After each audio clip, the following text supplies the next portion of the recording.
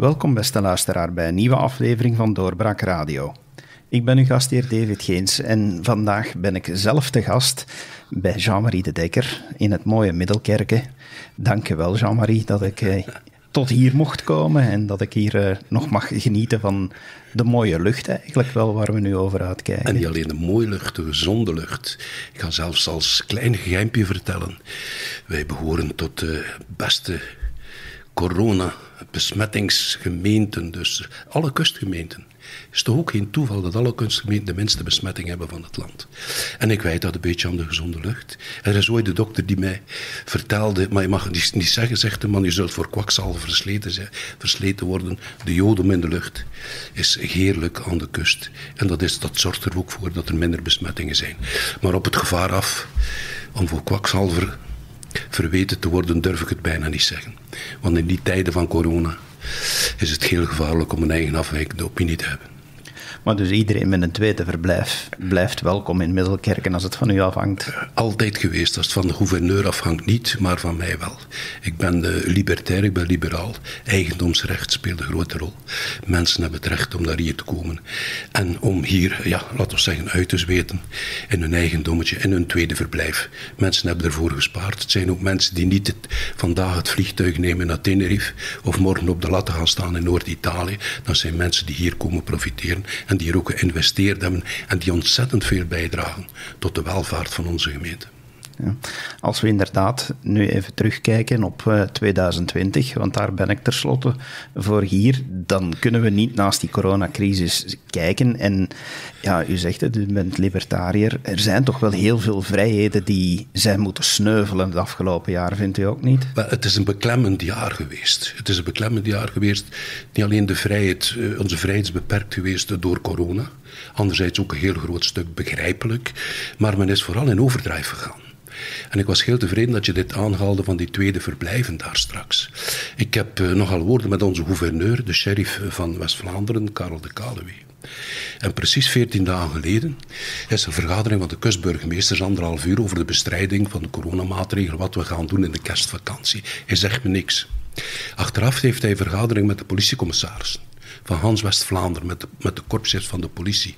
Wat doet hij daar? Hij applaudisseert. Hij maakt een soort poppel van het aantal PV's die uitgeschreven zijn, de processen verbaal voor overtredingen van corona. En hij applaudisseert voor degene die het meeste uitgeschreven heeft. Het is zelfs zo hè, dat er op moment, op moment gezegd wordt: we zullen moeten een wisselbeker geven voor de korpschefs die het meeste coronaboeten uitschrijven. Ja, dan moet ik toch eerlijk zeggen: dan zakt mijn broek af van schaamte om te beginnen en ook een stukje van colère. Want daarover gaat het niet. Het gaat over het inpakken, inperken van het aantal coronabesmettingen en dat wordt niet gemeten met het aantal coronaprocessen verbaal die gemaakt worden. En dan zet je nog ook die tweespalt. Hè waar in bepaalde delen van het land men er niet uh, durft aan te komen. En het gaat over geloofsgemeenschappen, het gaat over etnische gemeenschappen. Maar de, de brave Vlaming gaat maar wel gaan kijken of hij in huis zit en of hij met meer dan drie mensen onder de kerstboom zit. En dat is mijn probleem. Het is het inperken van de vrijheid, maar doet dat dan verdorie op een intelligente manier. En ik vind Hans dat coronabeleid, ik heb het gevolg van in het begin, ik, ik, vraag, ik, heb ooit zes vragen gesteld aan Wilmes en ook aan onze minister van Volksgezondheid, Magie de Blok, over het verbranden van de mondmaskers van in het begin. Ik wacht vandaag nog altijd op een antwoord. Op drie mondelinge vragen, drie schriftelijke vragen. Hans, het coronabeleid is een chaos geweest. Ook tot op de dag van vandaag. Maar ik durf er bijna niet meer over praten. Ik stel er ook nog heel weinig parlementaire vragen over. Want het is een pensée uniek geworden. Als vandaag spreken bijvoorbeeld over de inentingen, ik ga geen vraag wat ik niet begrijp. Niet begrijp dat men een 102-jarige nog vlug gaat inenten, terwijl haar levensverwachting maanden is, zelfs niet meer gerekend worden in jaren. En terwijl dat we bijvoorbeeld, dat de kappers gebroodroofd worden. Ik begrijp niet dat men vandaag niet de coiffeurs, de kappers gaat inspuiten, gaat inenten, zodanig dat ze zelf immuun zijn, zodanig dat ze ook werken, dat ze het virus niet meer kunnen overdragen. Nee, dit gebeurt niet. Men gaat de woonzorgcentra overal gaan inenten. Waarom? Omdat men schaamte, van eerlijke schaamte, door het wanbeleid dat men gevoerd, gevoerd heeft in de woonzorgcentra. En dat beleid duurt voort. Dat beleid doet. Er is niks wat er gedaan is die gelukt is. Of het nu over de mondmaskers gaat, of het nu over de testkist gaat, over de, over de, uh, de apps gaat, het allemaal is één grote chaos. En toch blijft die pensée uniek, ook door de media. De media weten niet meer wat gebracht. Mijn, mijn, ik lees er vier per dag, zijn of vier pagina's dik, waarvan drie kwart over de corona. En er, er, mag ook geen kritische stem zijn daarover. En ik heb me ook vergist in het begin. Ik heb ook gedacht, ook op basis van wat de grote goeroes en van de bureaucratie afgelopen jaar gezegd hebben, hè, dat het een klein griepje was en dat het niet zo erg was. Ik ben er in het begin ook in geloofd. Maar eenmaal dat we toen vastgestelden, wilde ik ook niet meer bedrogen worden. En men heeft ons constant bedrogen. Men is terug bezig. Men is terug bezig vandaag. Waarom zegt men, we gaan nu een halve dosis geven? Om een eigen mondmacht, uh, onmacht terug te camoufleren. Want er zijn tekort aan vaccins, dus zeggen ze, ja, we gaan nu een halvetje geven en dan later nog eentje. Nee, voer verdomme een beleid en wees, consequent in het beleid. En, die, en het gaat niet alleen over het beperken van de, van de, van de persoonlijke vrijheid. We wenen, we onze economie op de slop. En ik heb dat voorbeeld gegeven van de kaps. Waarom doen we dat niet? Waarom gaan we de restaurateur niet eerst gaan inenten, zodanig dat ze hun zaak kunnen open doen? Want al die mensen hebben wel, wel de nodige maatregelen genomen, hebben tafels uiteengezet, hebben plexiglas geplaatst. Nee, wij, wij, wij, laten we zeggen, wij, wij kruipen voort in dat verhaal en we blijven onderdanig. We zijn ook een Vlaams leibandvolkje. Wij gaan, wij ondergaan uh, de, de, het kletteren van de botten van onze gouverneurs. En daar heb ik het moeilijk mee. En ik weet, ik ben een vrijheidslievend man, ik ben een libertair man.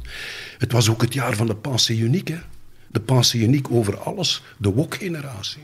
Maar vindt u dan dat het een falen van de politiek is en dat er meer macht moet gegeven worden aan de virologen? Of is het... Ja, waar ja, loopt het volgens u? Het gaat niet over macht geven aan. Hè. De virologen hebben het land overgenomen, hè. dus de bureaucratie. In het begin, wat is er in het begin gebeurd? Men heeft zelfs een, een junta van partijvoorzitters gemaakt om Milmes in het zadel te houden, zo gezegd voor de coronabestrijding. En wat is er gebeurd met die coronabestrijding? Was een complete ramp geweest. Wij zijn wereldkampioen in het aantal doden per 100.000 inwoners. Hè.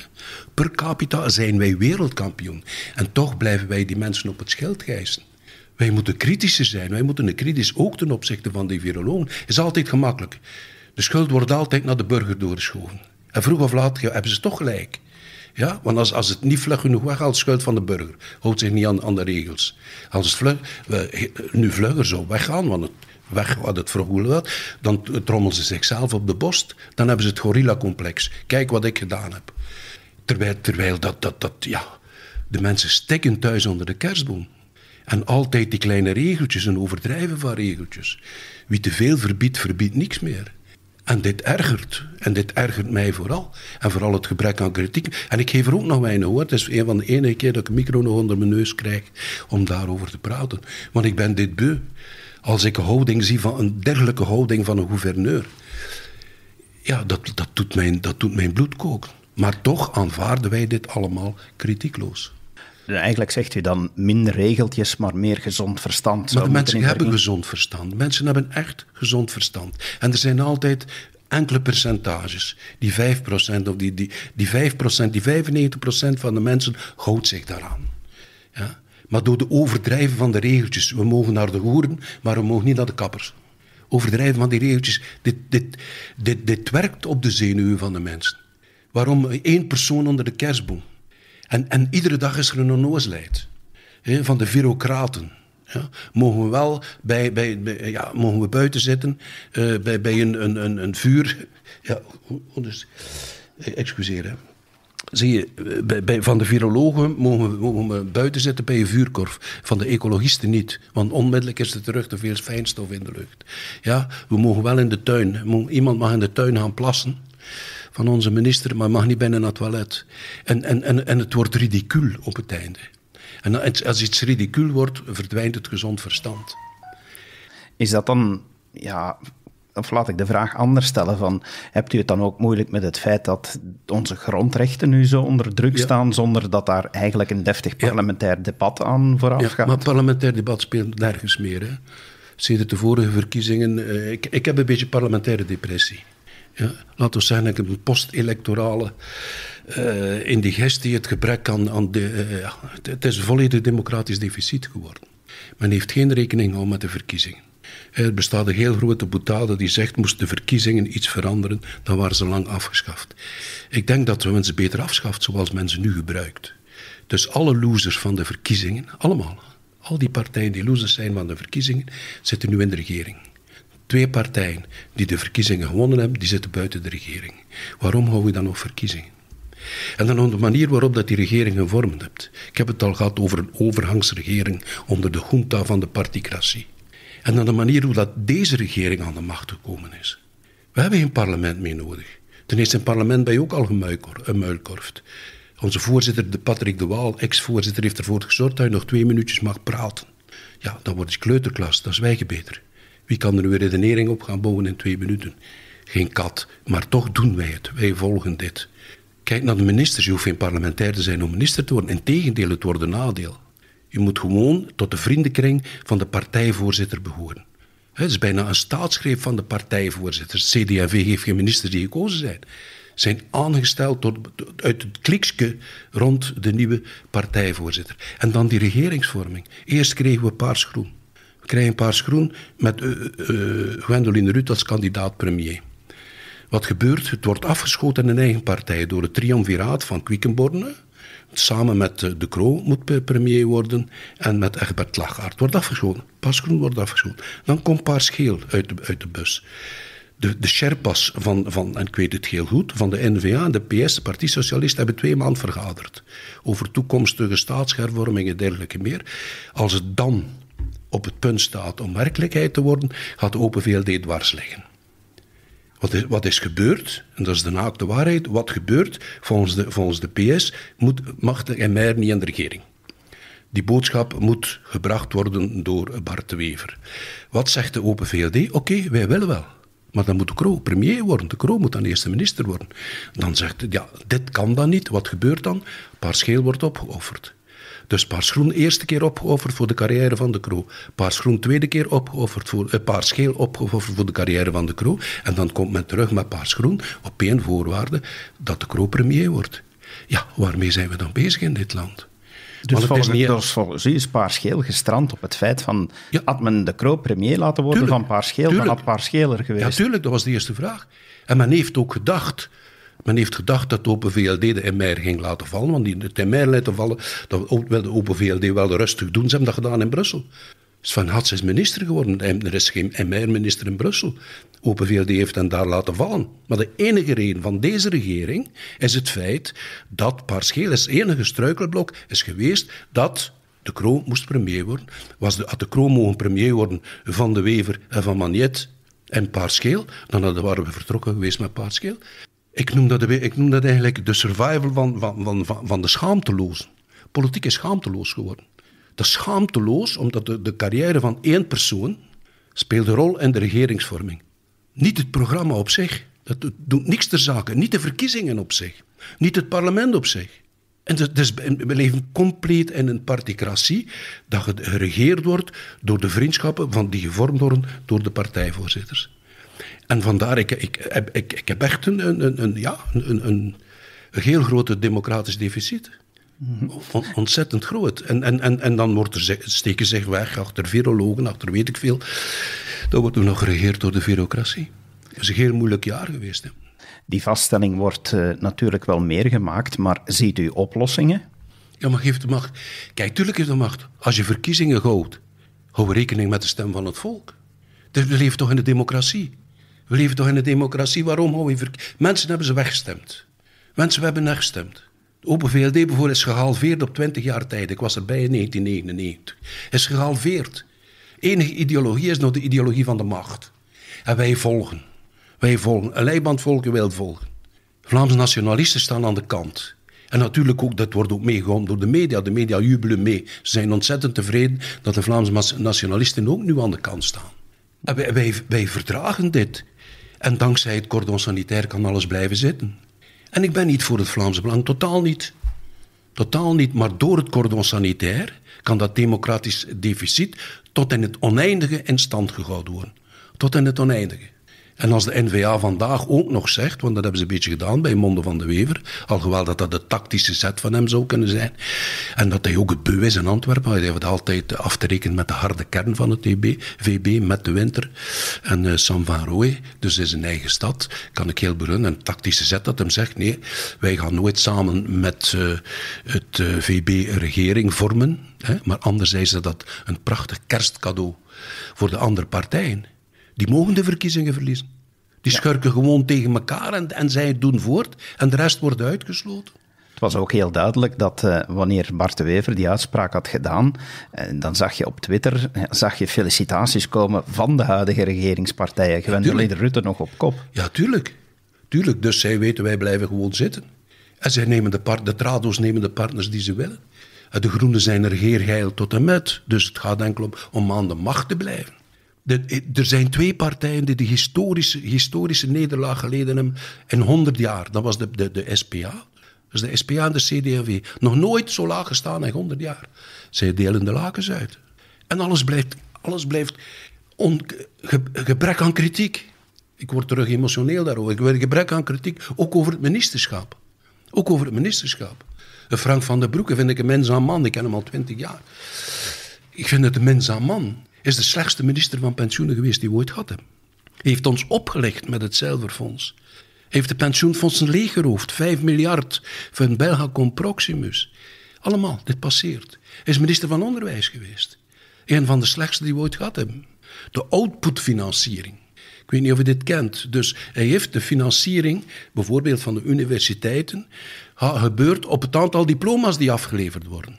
Vandaag zitten wij met de problemen in het onderwijs is ja, de nivellering omlaag. Wie heeft voor die nivellering omlaag gezorgd? Figuren zoals Frank van der Broeke, die ook minister van Onderwijs geweest is. Want hij heeft die outputfinanciering gezegd, ja, maar je krijgt maar centen op basis van de mensen die afstuderen. Ja, wij laten iedereen door, hè. Dan gaat de lat zodanig laag liggen en tien jaar later zegt men dan, ja, maar verdorie, ja, ons onderwijs gaat achteruit. En niemand, niemand praat daarover. Meneer Van den Broeke komt vandaag terug met zijn wijsvingertje, minister van Volksgezondheid, als ja, de grote goeroe van de wetenschap. Die gaat zeggen dat wij opgegokt moeten worden en liefst zo streng mogelijk. En wij aanvaarden dit. Geen parlementair debat daarover. Niemand die Van den Broeke gestemd heeft. Niemand die hem kan wegstemmen. Hij is niet gestemd geweest. Mensen hem gewoon gaan terughalen. En ik heb daar moeilijk mee. En niemand, niemand in het parlement doet daar ook zijn mond over. Ja, wie in de oppositie zit, ja, mag kwaken. Maar luistert toch niet. We hebben een debat van 72 uur gehad over de begroting. Er is zelfs geen regel over verschenen in de pers. Ja, we hebben 72 uur aan de stuk. Niemand praat daarover. En als je dan in de meerderheid zit, ja, dan moet je meestemmen. Kritiekloos gaan meestemmen. Vandaar dat ik ook zeg, ja, wat, wat, wat, wat doen we nog in het parlement? Wat doe ik nog in het parlement? Ja, dat, is, daar, dat ja, is, een vraag die, die blijkbaar ook al wel... Ja. Ah, die, die u zelf hebt opgeworpen in 2020. Gaat u nog lang in het parlement ik, ik, ik, ik, ga er niet op antwoorden. Mijn, mijn opvolger is ik, maar ik, ik, ik, bekijk het dag per dag. Ik bekijk het echt dag per dag. En, en ik kijk wat, wat, wat, wat er, op, ja, wat, wat er uh, politiek gebeurt. Maar ik ben een toeschouwer geworden. En ik besef dat ook, dat ik een toeschouwer geworden ben. Je zit met twee, twee molgen van, van, uh, van grote partijen die in de oppositie zitten met Vlaams Belang en, en uh, de NVA. Ik daarnaast als uh, kleine roeper in de woestijn, of laten we zeggen toch kanarievogel in de kolenmijn, zou ik beter zeggen. je kunt nooit genoeg fluiten of genoeg krijsen om dat te overstemmen. Maar ik blijf wel met mijn mening zeggen, mijn gedacht schrijven uh, iedere week. Ik, kan, uh, ik, ik, stel vragen aan ministers en zo, ik leg ze wel op de korrel. Maar wat het nog opbrengt, uh, totaal niks meer. Totaal niks meer. Hoopt u dan op een beweging die rechts toch gaat verenigen? Want vindt u het dan spijtig dat Bart de Wever heeft gezegd nooit met het Vlaamse Belang? Ja, ik vind dat spijtig. Ik vind het spijtig dat hij dat gezegd heeft. Al is het tactisch begrijpelijk vanuit zijn standpunt. Maar hij is totaal verkeerd. Ik ben democraat. Ik vind het recht, de bevolking heeft het recht om zijn leiders te kiezen. En als je dat niet hebt, dan heb je dictatuur. En momenteel leven wij een partijdictatuur. En die mensen blijven doen wat ze willen, maar je hoeft niet gestemd te zijn. Ik herhaal het, je hoeft niet, niet gestemd te worden om minister te worden. Integendeel. De belangrijkste ministerposten zijn niet verkozen. Binnenlandse zaken zijn niet verkozen. Volksgezondheid is niet verkozen. En die mensen blijven allemaal zitten door. Financiën is niet verkozen. En allemaal benoemde mensen. Dus waarvoor moet je dan verkiezingen? Wees dan eerlijk ten opzichte van de bevolking. Het, het, het, Het enige nut van verkiezingen is de machtsverhoudingen tussen, tussen de traditionele partijen verdelen. Om te kijken wie dat de grootste wordt. En de rest staat erbij. Hoe gaan we dan ja, nog verkiezingen moeten houden? Van, heeft, heeft, het, heeft het allemaal nog zin? Want het begint bijna als een dystopie te klinken als ik zo naar u zit te luisteren. Ja, maar voor mij, voor mij, voor mij niet. Of ten, tenzij dat, dat, dat, dat, dat we klaar en duidelijk zeggen: wij, gaan, wij schaffen dat cordon af, wij luisteren naar de kiezer. Wie het meeste stemmen haalt, heeft het recht. En, en, ik, en ik heb het daar na twintig jaar, hè, ik, zit, ik zit al twintig jaar in dit circus, en ik heb dat altijd maar, ik heb het democratisch deficit altijd maar zien groeien. En ook gedragen worden door de media. Media dragen dit mee. Het is precies nog altijd, het is precies nog een, een, een, een jubelsymfonie nog altijd dat de Vlaamse nationalisten aan de kant staan. Terwijl dat de meerderheid van onze bevolking, nagenoeg de geld van de bevolking, nu net niet gestemd heeft voor, eh, voor, voor deze mensen. Hè. En ik pleit niet voor het VB. Maar ik pleit voor het Rutte-scenario bijvoorbeeld, die in 2012 gezegd heeft: geen cordon, wij nemen er Wilders bij. En we zullen zien wat dat er gebeurt. Na twee jaar was het over. Het bleek dat uh, Wilders in plaats van extreem rechts, ja, dat hij socio-economisch heel links had. En het was gedaan, het was over. En de bevolking had dan begrepen dat dit niet kon. Maar men is bijvoorbeeld gestrand daar over de pensioenhervorming. Maar hier krijgt men zelfs de kans niet om te zeggen... De bevolking krijgt zelfs de kans niet, kunnen ze het of kunnen ze het niet. Het blijft altijd uitsmeren van de ranzigheid. Denkt u dat de peilingen dan juist zitten en dat er nog altijd rek op de groei zit voor Vlaams Belang? Ja, ik heb daarover in peilingen nodig. Ja. Vroeger had ik een sixpack, nu heb ik een one-pack, dus ik heb buikgevoel genoeg om te kijken wat er gebeurt in de samenleving. Maar je weet nooit, dat zijn allemaal momentopnames. Wat gebeurt er binnen drie, wat is binnen drie jaar? Dus die regering houdt dat uit tot de 2024. Wat gebeurt er dan? Onze economie zal een stuk relatie kennen, kan niet anders, anders zijn we kapot. Dus eh, wat komen de jubelcijfers? Er komen andere mensen. Ik kom nog uit een oude generatie. Dus komen, nu, we krijgen de TikTok-generatie. Ja? En, en er zijn zo van die. L'histoire repijt ook, hè? Wat dat zo, ik, kijk, die, die, die, ik, ik bekijk zo de figuur van Conor Rousseau. Ja, hoeft niks te zeggen, hoeft geen inhoud te hebben. Ik heb meegemaakt dat de, de, de, de, de, relance van Bart de Wever was de slimste mens. De relance van Conor Rousseau is de slimste mens. En we krijgen een nieuwe generatie, noemen ze de TikTok-generatie. De matekes. Ja, de maatjes, maar ook, er, er is een politieke vernieuwing. Is ook de reden dat ik zeg, verdorie, wat doe ik er nog? De, de, de, er zijn de, de, ja, de, de 30-jarigen, de 40-jarigen, de Tom van Grieks. En de maatschappij behoort hen ook toe. Maar ik heb nog altijd recht om daar een helikoptervisie over te hebben. En dat begon ik. En ik uh, moet, echt, moet enkel oppassen om niet cynisch te worden. Dat is mijn enigste probleem. Want ik kijk er een beetje cynisch naar. Ik, ik, omdat na al die jaren kijk je daar doorheen. Snapt u dan van waar dat nu de Belgicistische reflex komt eh, in, in de politiek? Ja, natuurlijk, dat zijn de stuiptrekkingen. Dat zijn de stuiptrekkingen van de trado's.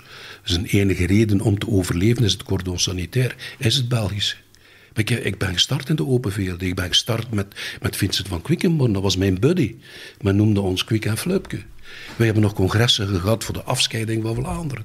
We hebben zelfs het Koningshuis afschaffen. Het is gered geweest omdat de groep De Croo zich toen geschaard heeft en dat net niet weggestemd werd op het congres van, van de Open VLD. Wij hebben het confederalisme gestemd op het congres van de Open VLD. Maar alles wat ze aanbeden hebben, ze hebben ze verbrand. Alleen om aan de macht te blijven. Ik heb het verhaaltje uitgelegd van De Croo. En, en, en, en dat is nog hun recht. Dat is nog hun recht, maar dat wij dat als bevolking aanvaarden, dat vind ik zo erg. Ja, u, u hebt eerder zoiets van, ja, Vlaming, sta op, laat u horen. Natuurlijk. Maar je kunt je niet meer laten horen langs de verkiezing. Waar, waar, waartoe, waartoe dient het? Kun je toch niet meer laten horen langs de verkiezing? En het is moeilijk om je te laten horen langs de media. Want daar heb je ook die pensée uniek. Over alles. We hebben de wok-generatie. Een nieuwe generatie. Het recht om niet meer beledigd te worden. De vrije meningsuiting is in 2020 ja, heeft een flinke deuk gekregen. Ik kom uit de generatie, je kent het mij. Vroeger, vroeger was de censuur kwam van rechts. Vroeger kwam de censuur van de conservatieve rechts. Nu komt de censuur van links. Ja, want uh, als we er bijvoorbeeld ook een feit uit 2020 uitpikken, je hebt inderdaad de woke culture, de cancel culture, de Congo-commissie. Ja. Dat is, uh, dat is toch ook typisch nu opgedoken allemaal in 2020? Ja, ja. Inderdaad. En, en, en, dat vind ik pijnlijk. Hè? Onze identiteitsschaamte. Onze identiteitsschaamte dat het altijd maar opgeschroefd wordt. En, en, en onze vrijheid dat daardoor ingeperkt wordt. Ja, maar zelfs figuur als, als, als Vincent van Quickenborne, die nu minister van Justitie is. Ik heb hem aangevallen in het parlement. Hij zou islamofobie strafbaar maken. Islamofobie betekent de angst voor de godsdienst gaan we strafbaar maken. Een terechte angst hoor. Terechte angst. Ik heb juist. Uh, ja, ik zal er niet over uit. Dat is een terechte angst. Maar ten eerste, een, een godsdienst is geen ras. Ik heb het recht om een godsdienst te bekritiseren, om een godsdienst belachelijk te vinden, om een godsdienst achterlijk te vinden. Ik heb het recht om ermee te lachen. Een minister, een minister van Justitie, die vroeger met mij nog. We, we, we zijn naar Libië geweest nog samen, we zijn naar Israël geweest. Een minister van, van Justitie, van het vrije woord, van, van, van liberalen, die daar zegt: van islamofobie strafbaar maken. Hoe ver ben je dan als, als maatschappij al afgezakt? En hoe gevaarlijk wordt het? Het is tijd dat we onze stekers uitsteken op dat vlak. Vreest u dat er echt een gedachtepolitie aan het vormen is? Want we hebben al een gedachtepolitie. Een juiste gedachtepolitie. Wij hebben een gedachtepolitie. De freedom of speech is, is, heel, heel sterk ingeperkt. En, wat niet past in de colloque singulier, of nu de colloque singulier is over de migratie, of de colloque singulier over het klimaat, word je onmiddellijk, of je, in het eerste geval word je onmiddellijk als racist weggezet tweede geval word je als klimaatnegationist weggezet. De connotatie met de holocaust is dan ook niet veraf. Dus dit, je mag, je mag, je mag, mag, dit oordeel mag je niet hebben. Kritiek, kritiek op het klimaat. Kun je kritiek hebben op het klimaat? Ik heb geen kritiek op het klimaat. Het wordt warmer, kouder. Al miljoenen jaar. Maar als je vraag stelt, mijn vraagstelling gaat over welk deel van de opwarming van het klimaat is veroorzaakt van de mens. Welk deel is uitademing van de oceaan? Welk deel is inademing van de, van de bomen, uitademing van de fauna en de flora? Krijg je geen antwoord op. Je wordt onmiddellijk als negationist aan de kant gezet, als ongelooflijke, zelfs belachelijk gemaakt. Maar u zegt enerzijds, ja, Vlaming laat u horen, maar die Vlaming, voor de weinige dingen waar het die op straat is gekomen, zelfs tegen alle regels in, is dan bijvoorbeeld zaken zoals Youth Against Racism en zo. Dus er zijn toch wel delen van de bevolking die willen dat dat allemaal verandert. Ja, en dus we moeten toch naar hen luisteren. Vandaar dat mijn buikgevoel zegt dat we gaan naar de Clash of Civilizations. Fukuyama heeft geen gelijk gekregen. Men altijd gedacht, eh, het komt de oorlog voorbij, democratische wereld, eh, de liberale democratische wereld, zal het overton nemen. Nee, het is omgekeerde gebeurd. Ik ben nu bezig met wat over internationaal. Maar het omgekeerde is gebeurd. De Clash of Civilization komt eraan. En intern komt hier ook, gebeurt hier ook in dit land. Je zult dit niet kunnen tegenhouden. En tot wat zal het uiteindelijk leiden? Van... er, zal, er zal meer en meer uh, profilering komen. De, die, die, die, die riedeltjes over verbinden en weet ik veel, die zullen oploffen in hun eigen gezicht. Wat, wat, uh, ik spring een beetje van de hak op de tak, maar, maar kijk, praat. Was het probleem van Europa geweest, 2015? Was het probleem van de Brexit geweest? Was het probleem tussen Hongarije en Polen? Dit gaat niet over het democratisch deficit in Hongarije of democratisch deficit in Polen. We zijn hier geen haar beter. Onze rechten zijn grondwettelijk hof worden politiek benoemd. Ja, ze, mogen, ze mogen nog veroordeeld zijn of afgetreden als voor corruptie, zoals een Fintje Moerman. Die wordt ook benoemd in het grondwettelijk hof. Ja. Dus wat, wat moeten wij daarover zeggen dan in Hongarije of over Polen? In Spanje steekt, als men een referendum organiseert, steekt men de mensen in de bak. 20 jaar veroordeling om te zeggen we een referendum organiseren. Dus voor, Europa gaat het daar niet over. Het gaat over de migratie. Want de problemen in 2015 zijn begonnen met de brexit. De brexit hebben gezegd, de Britten hebben gezegd, we want our country back. En de kleine man was de migratiemoe. De deplorables waren de migratiemoe. Het probleem met, Hongarije is het feit dat ze zeggen: wij moeten, wij moeten die vier Schaffendas niet hebben. De Polen, wij moeten dat vier Schaffendas niet hebben de Slovaken, wij moeten dat wir schaffen dat niet hebben. Maar wij blijven dit hier overroepen, wij blijven dit allemaal doen. En dat ontploft vloer in ons gezicht. En nu kan men ons altijd verwijten, ja, en de verwijten naar de oorlog uit het verleden van de Vlamingen en dergelijke meer. De Vlaming is niet extreem rechts. Totaal niet. De Vlaming is gewoon dat gekonkelvoet moe. Het gebrek aan democratie moe. Het bedrogen worden door de mainstream media. Is de Vlaming moe. Gaan we dan op een gegeven moment naar de resetknop moeten grijpen? alles terug opbouwen? Komt er, ja, als u nu vooruit kijkt, komt er dan echt een grote clash aan in de vorm van een burgeroorlog? Nee, nee, maar, nee, maar zover zie ik het niet. Maar, maar er is ook een beweging. De, de enige beweging die je hoort bijvoorbeeld is de woke-generatie. Nee, er is een andere generatie. Er is een andere generatie. Mijn kleinzoon is student in Gent. Die kijkt niet naar het nieuws hoor. Die kijkt daar niet naartoe. Die kijkt daar niet naartoe. Er zijn heel wat jongeren, wat jongeren die ook die, dat woke gedoe zijn. En daar geloof ik in. Ik geloof, er zijn jongeren die op zoek zijn naar de waarheid. Die ook de situatie kennen in Brussel, dergelijke meer. En, en dit gebeurt en ik geloof in de jeugd. Ik geloof daarin, absoluut. Maar mijn tijd is voorbij, dat besef ik wel. En dat, dat gaat ook niet alleen over politiek inzicht, dat gaat ook over uh, menselijk inzicht. Ik heb uh, in mijn eigen gezin al drie kankergevallen. Hè. Dat, doet u toch ook nadenken over het leven. Nog even terug naar 2020. Daar hebben de Groenen natuurlijk ook uh, heel veel uh, dingen proberen te bewerkstelligen. Uh, ja, we hebben een stadstol horen, horen aankondigen, het afschaffen van de bedrijfswagens, de wisselende fiscaliteit van kooltaxen allemaal dingen zie ik nu al stoom bij u uit de oren komen. Ja, maar dat, ja, omdat het vooral klakkeloos gevolgd wordt door de anderen. Je weet op voorhand, kijk, de groenen, de groenen zijn een armoedegenerator. En daarmee bedoel ik, kijk, zij, zij willen hier de derde wereld invoeren en hier een vierde wereld creëren. De Groenen zijn ook een belastingpartij. Alles wat ze zeggen is wat ze doen. Groen, groen is de partij van de poen. Alles wat ze doen kost pakken poen. Maar liefst niet betaald door zichzelf, maar betaald door de gemeenschap. En dat zal zich wreken, want de Achilleshiel van deze regering, dat zijn de groenen. En men loopt er nu ook nog altijd achteraan. Hè. Kijk maar de riedeltjes van Somers over verbinden en over het, uh, het culpabiliseren van de Vlamingen als racist en dergelijke meer. Daar komt wraak over. Wraak is een groot woord, maar er komt de tegenbeweging over.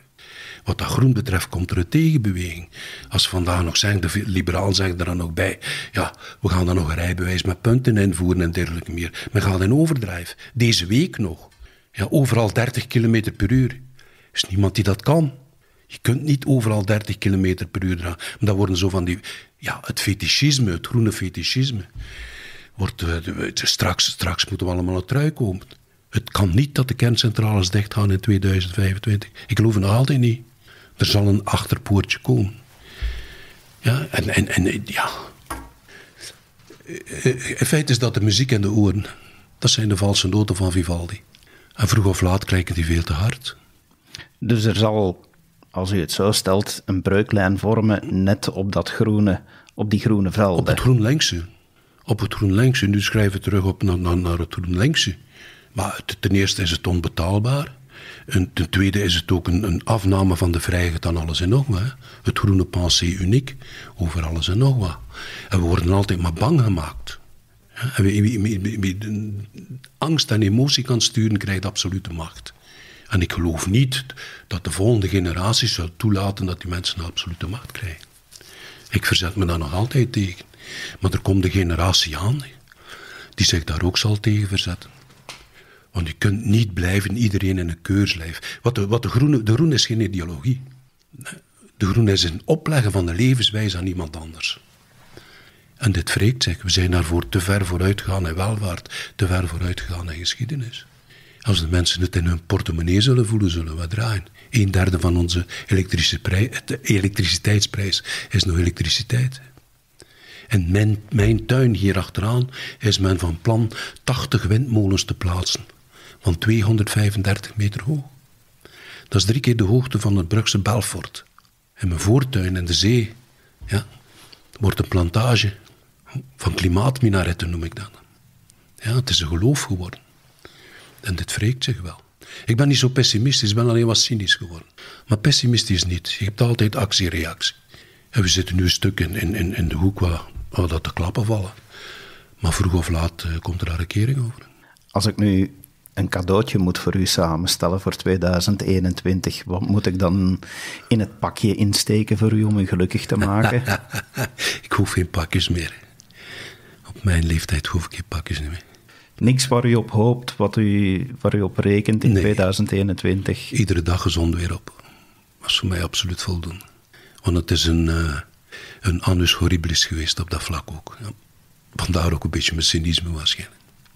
Ik denk dat dat er algemeen wel uh, bij iedereen een beetje in zit, maar uh, heel veel mensen kijken nu toch ook wel hoopvol uit naar 2021. Zit er, zit er bij u ook een stuk hoop in? Ja, tuurlijk. Het kan ook niet slechter. Maar kijk, het, het, vaccin komt eraan. Uh, vroeg of laat, dan zijn we terug de laatste van de klas om ze toegediend te krijgen. Het vaccin komt eraan en dan, dan zal iedereen zal dit uh, debacle heel vlug vergeten. Het zal natuurlijk worstelen worden voor sommige mensen. Op socio-economisch vlak. Wees maar kapper. Wees maar horecaman. We zitten met een gat in de kas van 50 miljard. Wie zal het betalen? De groenen niet. De socialisten niet. De, hard, de hardwerkende Vlaamse middenklasse. Zoals altijd. Zoals altijd. Jean-Marie, inmiddels is het uh, hier helemaal opgeklaard. Uh, we zijn begonnen met wat richte, lichte neerslag. Nu, nu schijnt het zonnetje. Dat is toch wel het teken dat het dat het de moeite loont om, om nog altijd naar u te luisteren. Dat weet ik niet. Er zijn waarschijnlijk mensen, nee, is dat terug, die oude zeur. Maar dat zal me niet tegenhouden om mening te zeggen. Dat zal me niet tegenhouden om iedere week mijn column te schrijven op de zondag. Zal mij absoluut niet tegenhouden. En er zijn nog altijd honderdduizenden lezers. We zullen er altijd blijven naar uitkijken. En ik ben er zeker van dat we ook in 2021 nog een aantal keren samen achter de microfoon zullen zitten, want uw mening blijft boeiend om te beluisteren. Dank u en altijd welkom. Dankjewel, Jean-Marie. En u, beste luisteraar, dank u wel dat u geluisterd hebt naar dit eindejaarsinterview. Geniet van de feestdagen en we horen en zien u graag terug in 2021. Tot dan. Dag. Dit was een episode van Doorbraak Radio, de podcast van doorbraak.be. Volg onze podcast op doorbraak.be/slash radio of via Apple Podcasts, Overcast of Spotify. Bezoek ook onze website op doorbraak.be en steun ons door een vriend te worden van Doorbraak.